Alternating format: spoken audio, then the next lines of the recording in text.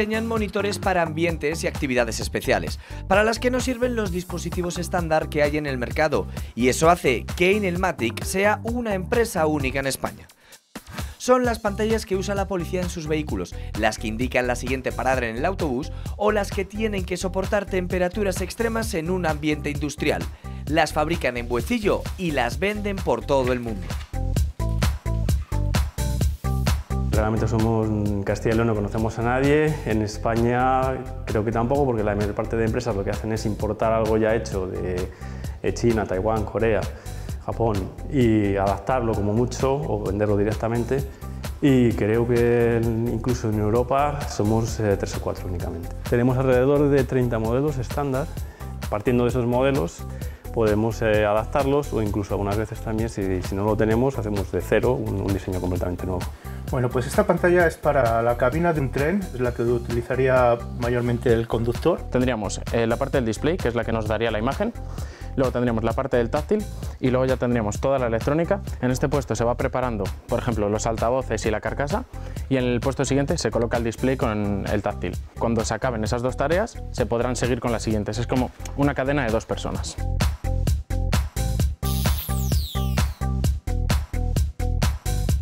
Dicen que los perros se parecen a sus amos y esto se aplica también al ámbito gastronómico, porque lo que comen perros y gatos cada vez se parece más a lo que comen los humanos. Piensos naturales, adaptados al tamaño, edad o gasto calórico de la mascota y otros productos para tratar patologías o intolerancias específicas. Conocemos las últimas tendencias en piensos para animales de compañía en C y D Foods. tu mascota está comiendo cada vez de una forma más humana, sea principalmente trigo y maíz. Utilizamos harinas de carne y vitaminas y algunos aromas que normalmente son vísceras. Entran esas harinas a un tornillo donde se produce el proceso de extrusionado, que se mezcla con vapor de agua y agua. Si es perro, la grasa es líquida y si es gato, le adicionamos aroma en polvo para que cuando se abra el producto el animal vaya, lo huela y vaya directamente a por él. Los gatos huelen más lo que comen, ¿quieres Exactamente. Son mucho más selectivos a la hora de comer. Luego están eh, las nuevas tendencias, la gama de productos naturales, la gama de productos retorno a la naturaleza, que es los perros tienen el instinto, los instintos del lobo, el instinto cazador, entonces se usan ingredientes especiales como materias primas de caza, venado, búfalo.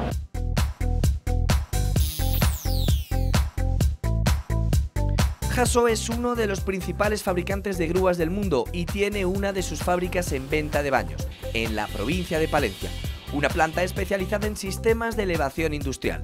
Grandes grúas con grandes capacidades y también grandes medidas de seguridad. Parte de los componentes de los equipos que la compañía vende por todo el mundo también salen de estas instalaciones.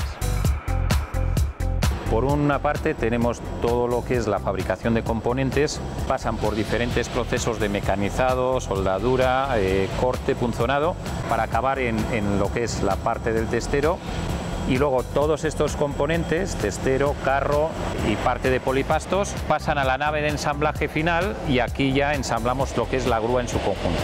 O sea, esto que llamas testeros es lo que mueve las mercancías luego, ¿no? Lo que les permite es discurrir a lo largo o de las vigas de la estructura o de las vigas de la grúa. Esto sería grúa especial. ¿Para qué está pensada? Pues esta en concreto va a una central hidroeléctrica en el norte de Portugal. ¿Y qué es lo que va a hacer? La puesta en marcha de la central para mover la turbina y los distintos componentes y luego para tareas de mantenimiento básicamente. Comienza Hecho en Castilla y León. Vivimos en el mundo de la imagen y en cualquier ambiente en el que nos movamos recibimos información a través de pantallas, en la calle, en lugares públicos, en centros de trabajo y en cualquier medio de transporte. A fabricar estos dispositivos y adaptarlos a cada entorno se dedica Inelmatic, una empresa única en Castilla y León y prácticamente en toda España.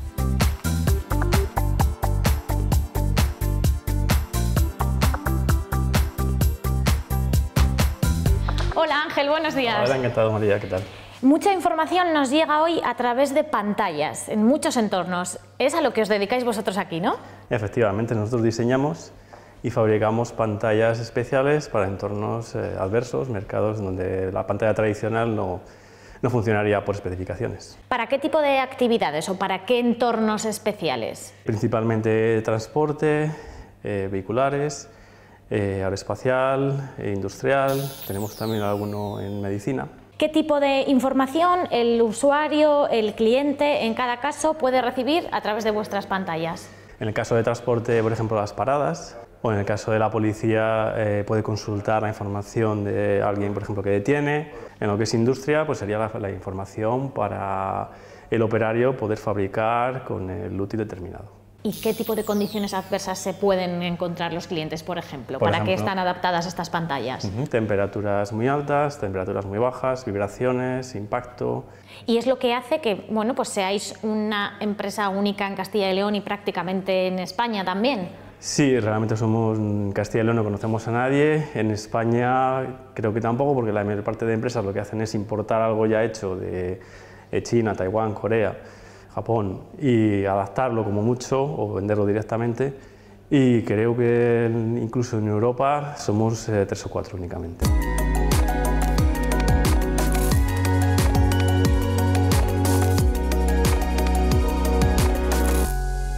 Ángel, ¿cómo empieza vuestro trabajo? Aquí en la parte de ingeniería nosotros recibimos la especificación del cliente. Tenemos alrededor de 30 modelos estándar.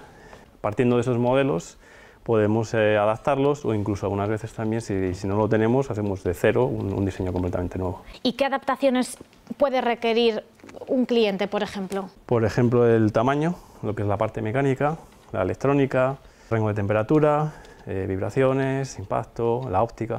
Podemos mejorar la óptica para que se vea mejor en exteriores. Esto que tenemos aquí, Julián, ¿qué entorno es? ¿Dónde se va a instalar esta pantalla? Bueno, pues esta pantalla es para la cabina de un tren, es la que utilizaría mayormente el conductor. Por ejemplo, en este caso, ¿de cuántas unidades puede consistir el, el pedido? Aproximadamente unas 400. Lo que pasa es que vendemos a través de integradores de sistemas. No, son- no vendemos normalmente directamente a- al fabricante. Claro, los que desarrollan, por así decirlo, el programa que va a gestionar la información que va a ofrecer la pantalla, La ¿no? solución completa. ¿Y este otro modelo? Es un diseño para, que hicimos nosotros para una flota de autobuses, típico monitor donde se ve las paradas solicitadas, la gampa solicitada y aquí normalmente pues sale publicidad de pues dependiendo de la ciudad a la que Claro. corresponde este autobús. Y en la parte de la electrónica, por ejemplo, ¿qué modificaciones tenéis que hacer?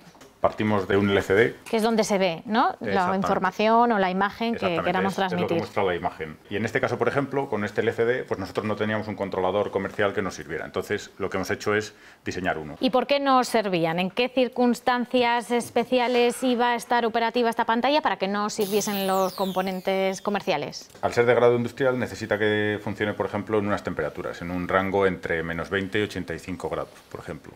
Entonces, en esas temperaturas, los, los materiales que traían los- las placas comerciales no nos servían. Entonces, lo que hemos hecho es diseñar la nuestra propia. Y en este caso, Ángel, estos componentes que luego vamos a ver montar aquí, vosotros los diseñáis, los desarrolláis y os los fabrican distintos proveedores en distintas partes del mundo para vosotros exclusivamente, ¿no? Podemos decir. Sí, hoy en día todos los componentes, semiconductores, componentes electrónicos están en, en Asia y sería imposible eh, o muy caro el poder fabricarlo en, en Europa. Y fabricamos por un lado la PCB, que es la parte verde, que es el circuito impreso, y por otro lado adquirimos los componentes y se los enviamos a una fábrica para que los ensamble.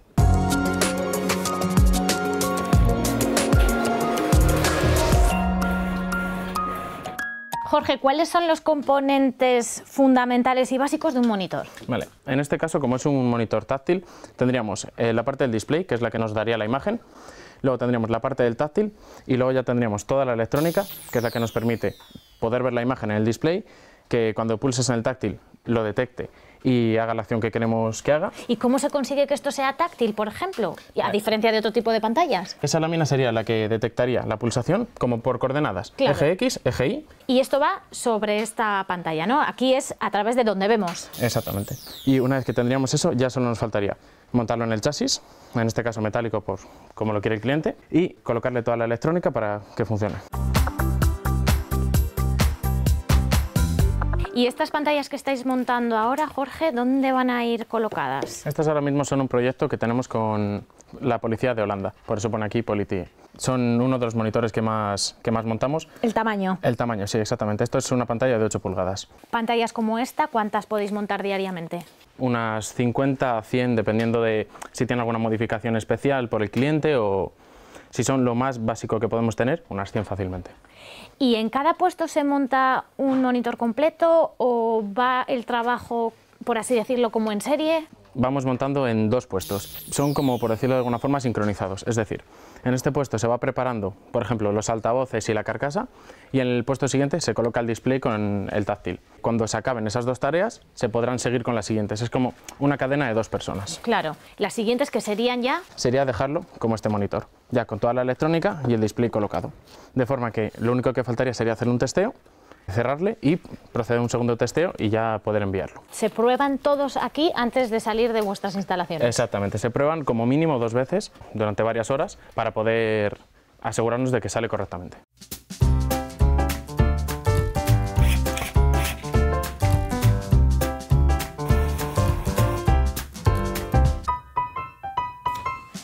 Jaime, ¿por qué vamos vestidos así en esta sala? Bueno, pues estamos en una sala limpia y para no contaminar los LCDs con partículas que podemos traer de fuera. Y luego en cada esquina hay unos aspiradores que lo que hace es filtrar el aire para quitar todas las partículas y que no se nos metan dentro del LCD. Aquí se hace el montaje del táctil sobre el LCD. Para ello tenemos espumas de doble cara cortadas previamente en la sala láser con un poco de pegamento. ¿Va a hacer de adhesivo?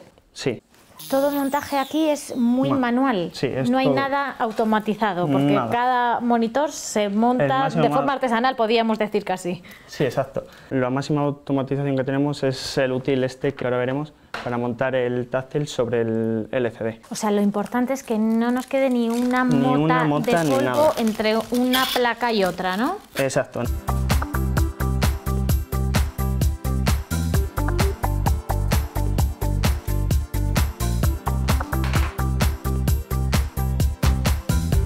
Hemos visto, Ángel, la parte de montaje, esta parte sería vuestro servicio técnico. Efectivamente, aquí es donde damos soporte a nuestros clientes, tanto eh, por internet, vía email, vía telefónica, como asistir a las reparaciones de, de productos que por lo que se han dejado de funcionar. Por internet o vía telefónica, porque hemos dicho que tenéis clientes en muchas partes del mundo.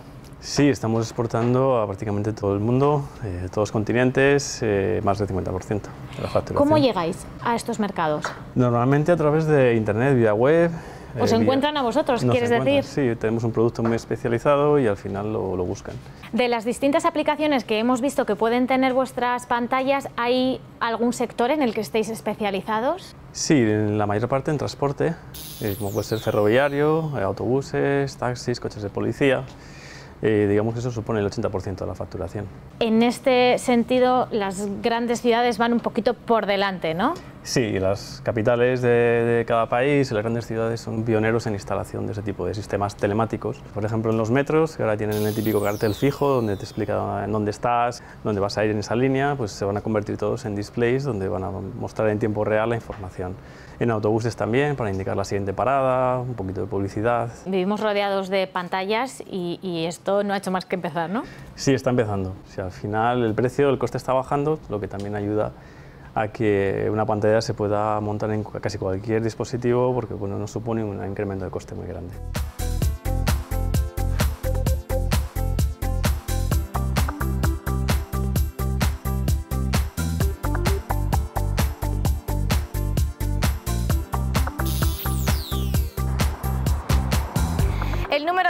De compañía ha aumentado en España un 40% en los últimos cinco años. Mascotas que cada vez reciben más cuidados y sobre todo una mejor alimentación adaptada a su tamaño, a su edad y casi a las necesidades específicas de cada raza. Esta planta de Valladolid fabrica piensos para gatos y perros desde hace más de 20 años.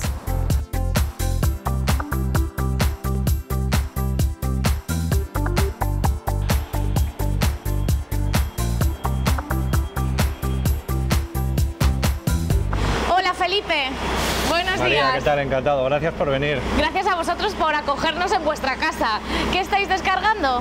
Bueno, estos son harinas de carne. Las harinas de carne son las partes menos nobles de los animales que salen de los mataderos y que se procesan para hacer harina. Se prensa, se extrae la grasa. Carne que puede ser de ave, de ternera también. Correcto. Carnes blancas, aves, procesos digestivos más sanos para los animales. Utilizamos whey, un poquito de cerdo también. Y esta en concreto es ternera. Y es, bueno, pues la casquería y todas estas partes que ahora los seres humanos no consumen ya, ¿no? Correcto, se procesa y lo más importante, estos son animales que vienen de despiece de matadero de categoría humana, es decir, son animales que las partes más nobles van para consumo humano y las partes menos nobles se han procesado para que nosotros las utilicemos en nuestras fórmulas. ¿Y qué otras materias primas utilizáis aquí? Aquí básicamente utilizamos en las fórmulas cereales, sea principalmente trigo y maíz, utilizamos harinas de carne y vitaminas y algunos aromas que normalmente son vísceras, sobre todo hígado, etcétera, que recubre y da eh, más apetencia al producto, que en la industria le llamamos palatabilidad. Porque nuestras mascotas cada vez comen mejor. Nosotros medimos la cantidad de gente que deja de tener una mascota para tener un miembro más de la familia. Y esto aumenta a dos dígitos. Quiere decir que la mayoría de las personas, antes un perro era un perro, un gato era un gato y ahora son realmente miembros de la familia. Y eso hace que el tratamiento que se les da sea exactamente el mismo, como un miembro más, con lo cual los productos cada vez son mejores. En la industria les llamamos productos premium. Cada vez hay más productos premium. Y lo segundo es la humanización de las recetas. Entonces, tu mascota está comiendo cada vez de una forma más humana.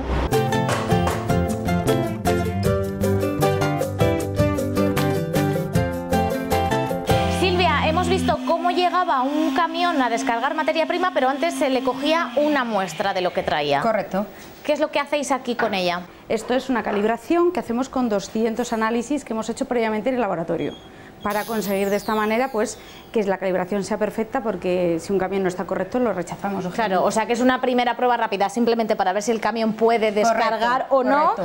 y después ya se procede a otro tipo de, de pruebas, ¿no? Correctamente, sí. ¿Cómo llegan las materias primas? Pues las materias primas aquí entran todas en deshidratadas o secas. Por ejemplo, estos son lentejas como las que comemos en casa. Esto es manzana deshidratada. ¿Y los líquidos? Una vez que hemos extrusionado, después lo que hacemos es rebozar. Entonces rebozamos con grasas y aromas. Para que esté más sabrosito, ¿no? Claro, al gato y el perro eso es lo que le mola. Entonces, la grasa, las grasas que utilizamos son grasas de ave. Son grasas de pollo, pato. Entonces esto, mira, huele un poco. Esto es como Pues pollo frito. huele fenomenal. Sí, sí, como pollo frito, ya te digo yo. y luego, en casos especiales, por ejemplo, cuando dice con salmón, o pues te hay que poner grasa de salmón. Y huele a salmón, Y huele a salmón efectivamente. que es de Noruega. Y una de las bases más importantes que tenemos nosotros es el cereal. Entonces, el cereal utilizamos trigo, maíz, cebada. Todos los controles de calidad, de seguridad que se hacen aquí se podrían equiparar, Silvia, a los que se hacen en cualquier industria agroalimentaria cuyo producto vaya destinado a humanos. Nosotros hacemos mucho más que incluso en humanos. Nosotros estamos asociados a ANFAC. ANFAC es la Asociación de Fabricantes de, de Piensos para Animales de Compañía. Entonces, eh, tú tienes que seguir esas normas porque además nuestro grupo está súper concienciado con la alimentación y la seguridad alimentaria. O sea, que decimos que comen como los humanos, pero casi comen mejor ya. Come mejor que nosotros, de hecho sale mucho más caro, porque al final tú mira lo que cuesta el pez, multiplica por el precio y verás que sale más caro que un chuletón para ti. Juan Carlos, ¿cómo comienza el proceso de producción? Una vez que hemos recibido las materias primas, las almacenamos en estos silos, disponemos de 32 silos de materias primas y posteriormente creamos las recetas, ¿Cuántas recetas diferentes elaboráis aquí? pues unas 100 aproximadamente. ¿En función de qué? Diferenciamos entre perros y gatos, también diferenciamos el tamaño del perro, la actividad del perro, incluso tenemos recetas pues, para fortalecer dientes, eh, en gatos para evitar las bolas de pelo. Tenemos una gran variedad. Claro, o sea, formas. casi casi personalizadas. Sí, prácticamente. Las producciones que hacéis aquí, ¿de cuántos son? Hacemos lotes de 2.200 kilos. Y de estas materias primas que me ha comentado Felipe, ¿cuántas diferentes, por ejemplo, suele llevar una receta más o menos como media? Depende del producto que sea, hay desde las 5 o 7 materias primas distintas hasta las 10 12. El producto ya mezclado. Sí, ya son las materias primas una vez que han pasado por el molino y está transformado en harinas. En este caso, ¿qué producto es? Pues este producto se llama Fish Natural, es una harina para gatos. ¿Hacéis más alimentación para gatos o para perros? Más para perros. ¿El qué ha estado haciendo? Él está comprobando que realmente el producto va con nuestro estándar de calidad, que lleva el grueso adecuado. Y ahora hay que cocinarlo. Ahora hay que cocinarlo, ahora ya pasaríamos a, a la zona de extrusión donde se cocina el producto. Marco, ¿cómo conseguimos este producto final a partir de la mezcla de materias primas que hemos hecho? Las harinas entran en el proceso que se llama extrusión, que digamos que es el corazón de la fábrica, donde se cocinan esas harinas. Aquí entran esas harinas a un tornillo donde se produce el proceso de extrusionado, que se mezcla con vapor de agua y agua. O sea, que hacemos como una masa. Una masa, una masa. Dependiendo de la receta le echamos agua en mayor cantidad o menos cantidad para obtener la humedad deseada, le damos más vapor o menos vapor para darle la temperatura deseada e incluso, dependiendo de la croqueta que estemos realizando, le damos colorante. O incluso en nuestro producto premium le echamos carne fresca. Marcos, ¿y aquí qué ocurre? Bueno, la siguiente parte del proceso de extrusión. Aquí empezamos a secar el producto. Poco a poco se va secando en los elevadores de cangilones hasta llegar al enfriador. En el enfriador tenemos un brazo repartidor que lo va distribuyendo homogéneamente durante toda la superficie de unas bandejas y con gas, con mucho calor, lo vamos secando poco a poco, muy lentamente. El siguiente punto del proceso sería el engrasador. Adicionamos grasa, grasas animales, por ejemplo aceite de salmón, eh, otro tipo de aceites y dependiendo del animal, si es gato o perro, si es perro la grasa es líquida y si es gato le adicionamos aroma en polvo para que cuando se abra el producto el animal vaya, lo huela y vaya directamente a por él. Los gatos huelen más lo que comen, ¿quieres decir? Exactamente, son mucho más selectivos a la hora de comer. Entonces en, el- en este proceso de aquí, habiendo adiccionado una grasa digamos básica, Luego le echamos un recubrimiento de aroma en polvo homogéneamente en toda la superficie de la croqueta para que el gato nada más abrirlo vaya directo a por ello.